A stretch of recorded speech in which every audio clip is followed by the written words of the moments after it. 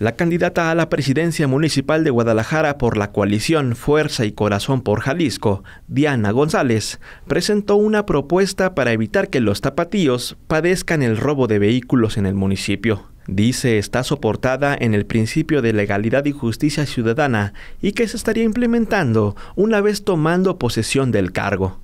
Señaló que el municipio es quien debería pagar el deducible en caso de robo de vehículos particulares, no el ciudadano, entendiendo que estos gastos imprevistos se suman al descontento por la pérdida del patrimonio de las familias tapatías. La candidata a la presidencia municipal lamentó que al año 3.500 familias sufren las consecuencias del robo de alguno de los vehículos de su hogar y que si bien se debe trabajar para evitar ese delito, también si llegara a suceder, el municipio debe tener la responsabilidad de proteger la economía familiar. Con imágenes de Israel Carvajal, Eduardo Aristeo Chávez, Jalisco TV Noticias.